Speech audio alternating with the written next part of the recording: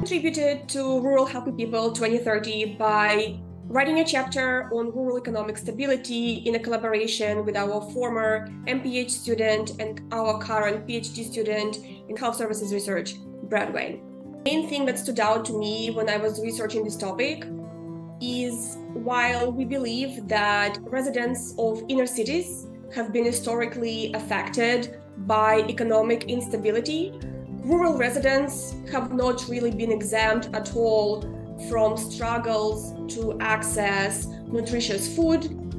housing, educational opportunities, employment opportunities, which potentially leads to them also suffering from lower incomes, which is again, I think, the thing that I really expected urban residents, especially those residing in inner cities, to be affected by more than the rural residents.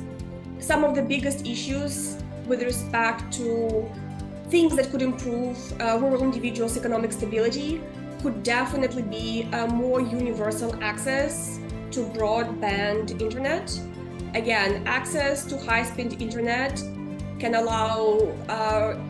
rural school children to get access to more online educational opportunities. It could allow rural residents to have access to online training and online employment opportunities all of these benefits that a lot of the suburban and urban individuals are enjoying as a result of some of the changes to how we treat employees now after COVID. So I think the number one practical thing that could really help rural communities thrive in five to six years would be a better access to high speed internet, especially in some of those very remote areas of our rural states.